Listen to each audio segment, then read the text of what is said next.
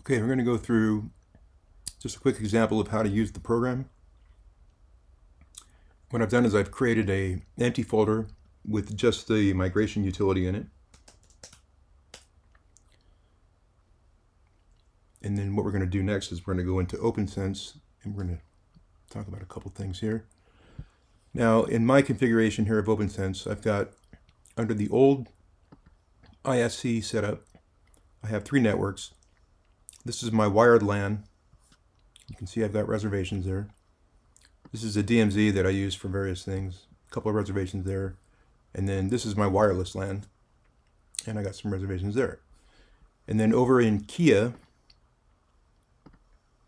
you can see that I've got the subnets defined. And what's most important about this part is that this line here is accurate because it uses it to find the subnet that your old mappings belong to. And then it creates the proper entry for Kea. But you can see we've got no reservations under Kea. So now what I want to do is we want to export our backup. So we go to System, Configuration, Backup, and we want to download configuration. And we're going to put it into this folder, and we're going to call it config.xml. And then you can see that when we go back here, there it is. Now the only thing we have to do is just run migrate.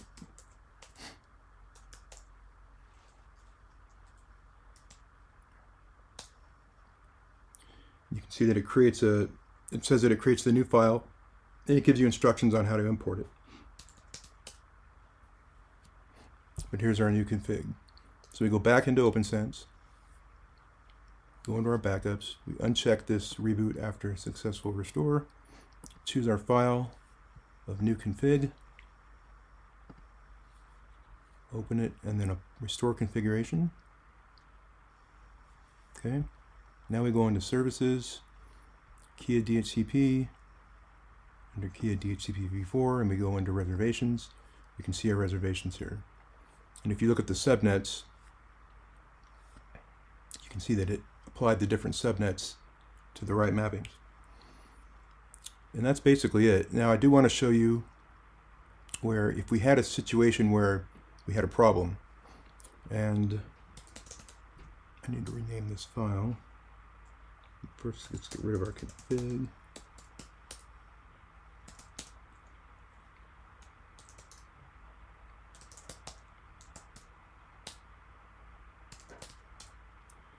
Okay, so now we have a config that is has no subnets defined under the Kea settings, which is prerequisite for making this work. Uh, let me remove the new XML as well.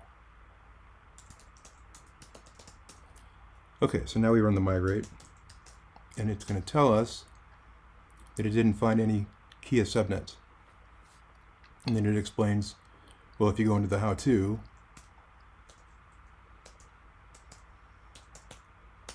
it explains how to go into OPNsense and set everything up right. So anyway, I just wanted to show that part of it, but that's pretty much it. It's pretty simple and straightforward, and it seems to work pretty well. Thank you.